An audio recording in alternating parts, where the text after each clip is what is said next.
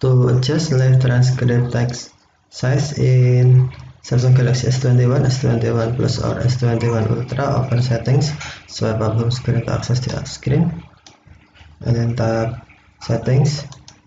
You can also open settings screen from notification panel swipe the notification panel and then tap settings icon. Scroll down settings screen find accessibility and then tap accessibility tap hearing enhancements. And then select live transcript. Tap settings. And then select text size. Drag text size adjustment bar to the right to large text or drag the left to small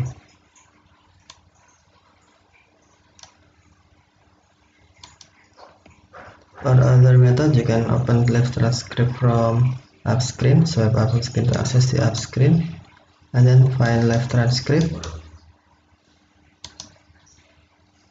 Tap settings icon, and then select uh, on text size, so drag text size like uh, adjustment bar to the right to large text or drag to the left to small text